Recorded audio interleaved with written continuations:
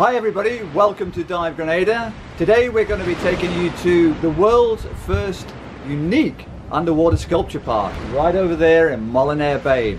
I was very privileged back in 2006 to meet a very uh, good friend of mine now, Jason DeCaires Taylor, who came up with this very quirky idea of putting sculptures down in under the water. I thought it was a phenomenal idea, uh, very sustainable, very environmentally friendly, and a great tourism product. So we uh, embarked on it. He did all the sculpture work. We assisted him in the early days for actually installing the sculptures themselves.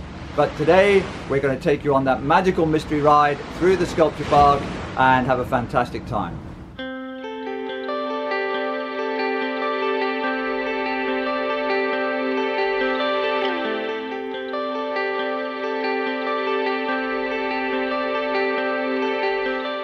We started the actual sculpture park back in 2006. Very easy to access. Literally 10 minutes by our boat going from our location on Grand Anse Beach and we're there.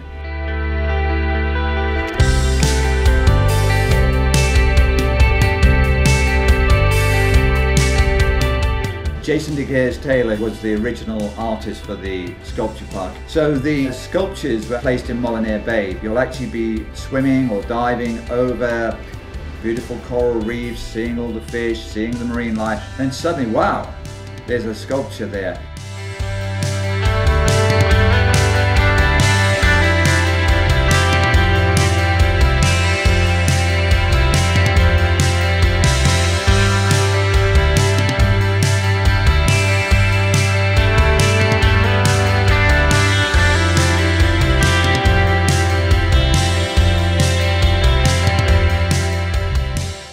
The underwater sculpture park here in Grenada is suitable for both snorkelers and divers. We actually installed it taking into mind that we are sympathetically putting these statues amongst the reef system so that both snorkelers and divers can appreciate the beauty of the reefs as well as the sculpture park.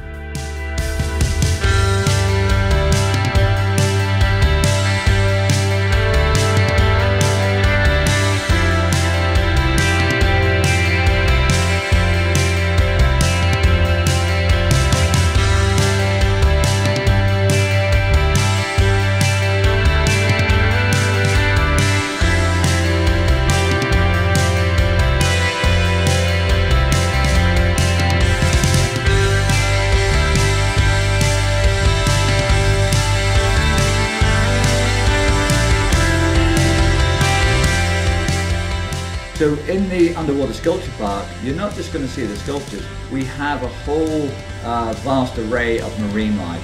So everything from turtles, uh, we have manta rays regularly flying by, uh, we have stingrays, uh, and all the coral reef fish that you can think of actually coexist with the actual sculptures there in Molinere Bay where the sculpture park is located.